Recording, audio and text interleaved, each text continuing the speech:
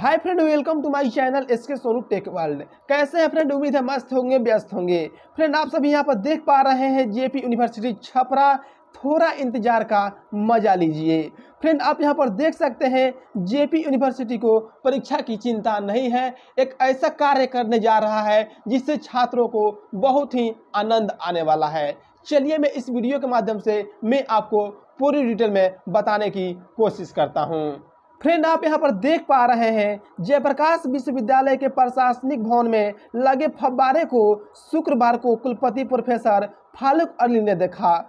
उन्होंने फब्बारे का पानी समय समय पर बदलने एवं लाइट लगाकर सुंदरीकरण करने का निर्देश दिया है। आपको बता दूँ कि फव्वारे बहुत दिन से खराब था, इसे ठीक करवाया गया है। इसके बाद उन्होंने इसे देखने के बाद सुंदरीकरण एवं लाइट लगाने का आदेश दिया है।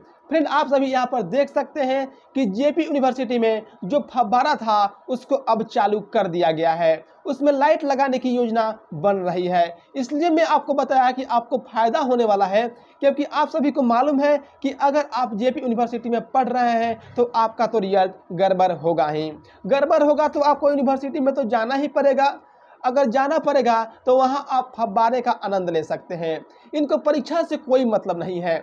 परीक्षा हो या ना हो, इसकी चिंता नहीं है, लेकिन फव्वारे की चिंता है। महोदय, आपसे निवेदन है कि आप इस यूनिवर्सिटी को बंद करके इसमें कोई कंपनी या कारखाना खोल दीजिए। जो भी बच्चे इसमें अपना लाइफ बर्बाद कर चुके हैं, कम से कम उनको रोज़गार तो मिल जाएगा। तो इसलिए आपसे नम्र निवेदन है कि इस यूनिवर्सिटी को बंद करके आप इसमें कोई कंपनी या कारखाना खोल दीजिए ताकि जो बच्चे अपना भविष्य बर्बाद कर चुके हैं। पाँच साल छः साल में जिनका सेशन क्लियर नहीं होता है किताबी लिखने के बाद उसको प्रोमोटेड और फेल कर दिया जाता है तो वो बच्चे कर क्या सकेंगे?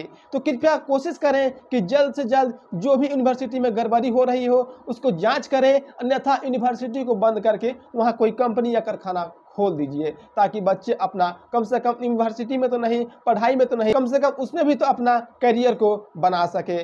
तो कुलपति महोदय मुझे पूरा विश्वास है कि आप सभी जिन भी बच्चों का रिज़ल्ट गड़बड़ हुआ है, जो भी बच्चे अपने इस यूनिवर्सिटी में लाइफ बर्बाद कर रहे हैं, कहने का मतलब है जिन लोगों का रिज़ल्ट क्लियर नहीं हो रहा है, कितना भी लिख रहे हैं, उसके बाद भी उनको फेल कर दिया जाता है, चाहे जो जो भी कारण हो तो कृपया आप कोशिश करें कि जल्द से जल्द इसको सुधार किया जाए और जेपी यूनिवर्सिटी में कम से कम कॉपी रीचेक का ऑप्शन लाया जाए, ताकि इससे बच्चे संतुष्ट हो सके कि उन्होंने कितना लिखा है और उनको उसके मुताबिक नंबर मिल सके। फिर मिलेंगे एक नई जानकारी के साथ, तब तक के लिए जय हिंद।